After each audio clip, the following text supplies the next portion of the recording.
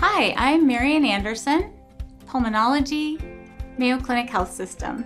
The best part of my job is being able to help a patient to feel better and to be able to achieve their goals. I also really like that I learn something new every day from my colleagues and from my patients. My practice philosophy is to have uh, individualized care for the patient and really partner with them to find a plan that will work for their situation. So on the weekend, you might find me up at Birchwood near a lake and reading books or watching eagles and sandhill cranes and blue herons. I think most people don't know that I'm a 20 year breast cancer survivor.